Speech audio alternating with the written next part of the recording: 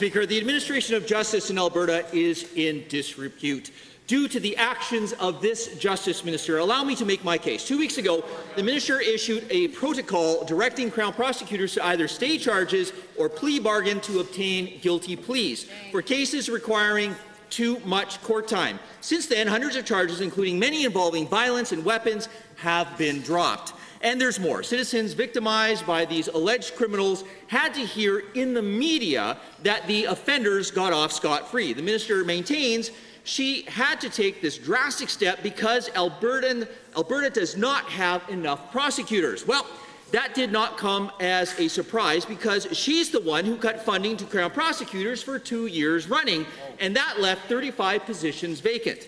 When the media revealed her court clearing directive, the public reacted with outrage. The next day, the minister found money to hire more prosecutors. But let's put this all in perspective. This NDP government is finally increasing funding for prosecutors, but that 14 million amounts to half the amount it is spending to, wait for it, change your light bulbs.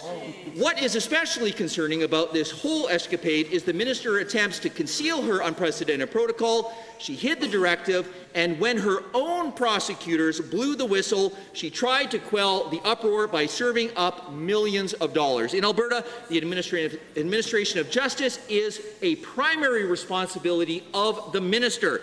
I'm not just making that up, it's on the Justice website. Mr. Speaker, the court of public opinion is clear, and in this case, it's the only one that counts. The minister's actions have eroded Alberta's faith in our justice system, and that means the minister has to go.